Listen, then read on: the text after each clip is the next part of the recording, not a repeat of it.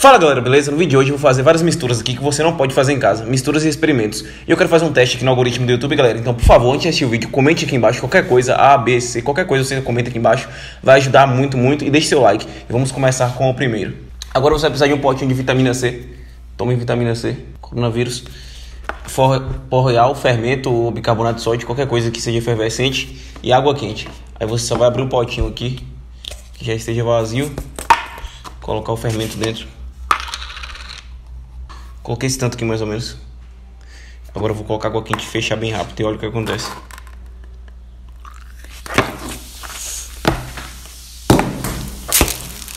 O que foi isso? As bolinhas abriu. Cadê a tampinha? Achei a tampinha aqui de novo. Olha, olha. Que legal, velho. Vai mais uma vez, será que vai? Botar mais um pouquinho de água. Vai, vai, vai.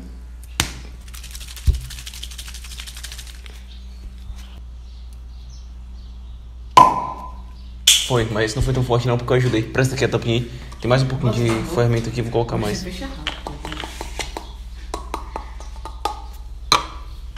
Pronto, pronto.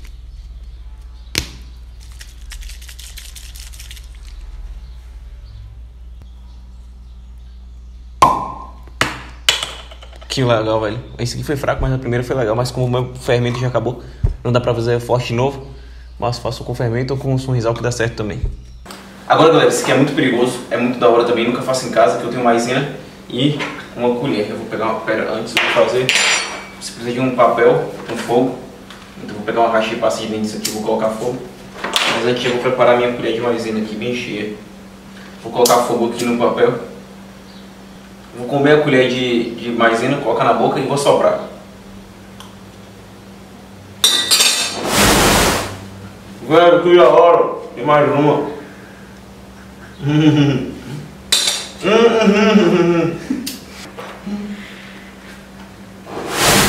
Ó, oh, velho. Que legal.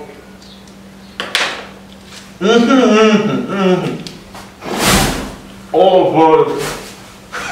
Muito hora, muito hora. Deixa o like, galera. Deixa o like. Agora nós vamos cortar um pedacinho do papel alumínio. Desse tamanho aqui, mais ou menos, olha.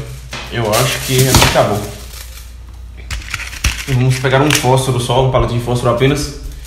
E enrolar aqui ao redor do palito. Eu deixei muito papel alumínio pra fora, a ponta meu ficou muito grande. Vou cortar o excesso aqui. E a ponta vou enrolar. Pra não vazar por aqui. Não deu certo, galera. Acabei estourando a ponta. Pronto, agora deu certo. Vou só cortar o excesso aqui, ficou muito. Agora é o seguinte, galera, você pode posicionar ele dessa maneira assim, inclinado, em qualquer local, qualquer superfície. Eu achei esse bichinho aqui, não sei de que que é, mas vou posicionar com ele aqui que fica mais fácil para mim acender. Deixa ele assim.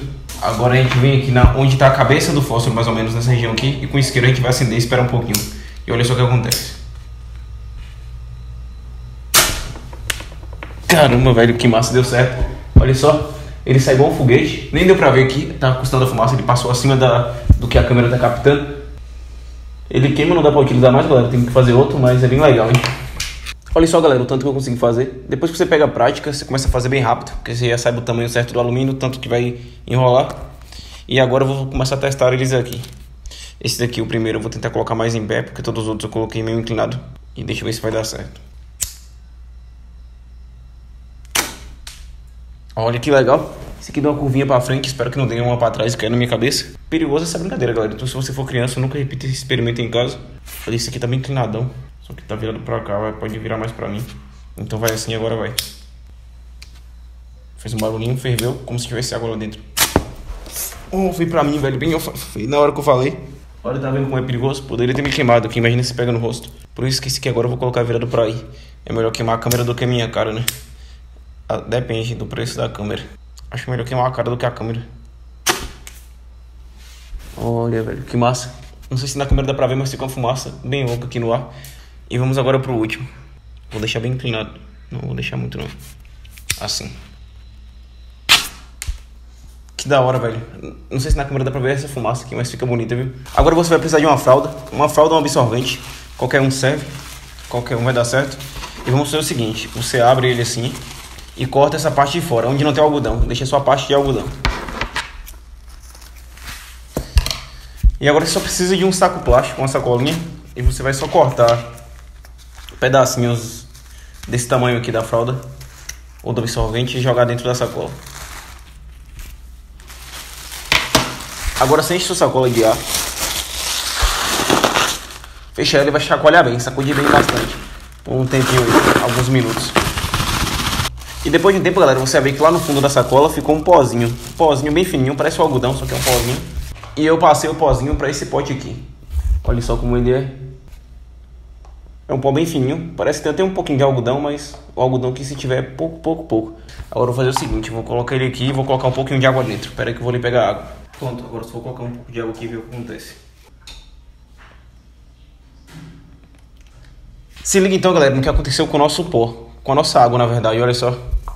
Olha isso, velho. A água deixa de ser líquida, líquida. E vira tipo uma neve. Vira tipo uma gelatinona.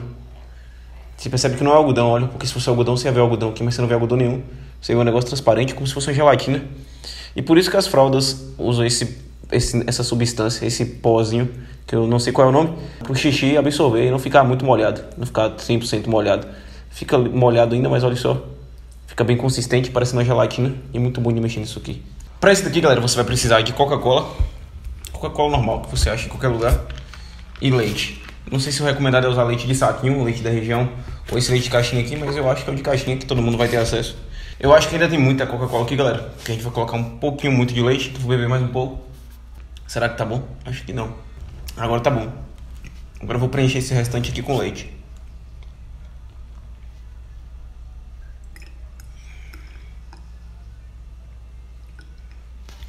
Acho que tá bom.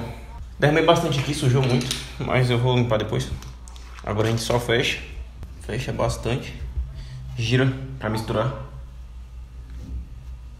Olha só que massa.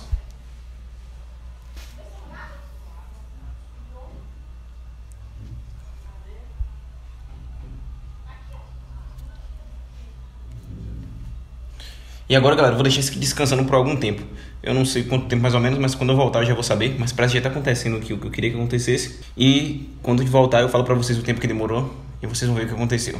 Então, galera, tá aqui nossa garrafinha de Coca-Cola com leite. Eu deixei mais ou menos um dia aqui, umas 24 horas. E olha só o que aconteceu com a nossa garrafa. Olha isso, velho. Ficou transparente, quase 100% transparente. Eu acho que se eu deixar mais um pouco aqui, mais um tempinho, mais um dia, ela vai ficar 100% transparente. E já tá, né? Olha eu aqui atrás. E o leite, parece que acho que é o leite, né? Que assentou aqui no fundo e formou meio que uma bosta aqui embaixo. Não sei direito o que é isso. Tipo um leite podre. Agora, será que isso aqui tá com gosto de Coca-Cola? Só vou saber experimentando. Então eu vou ter que experimentar isso daqui, né, galera? É, isso aqui não tá com a cara de estar tá muito bom. Não sei se vai fazer bem ou mal. Bem não vai fazer, né? Pode ser que faça mal. Ou não faça nada. Mas eu vou experimentar pra ver se tá com gosto.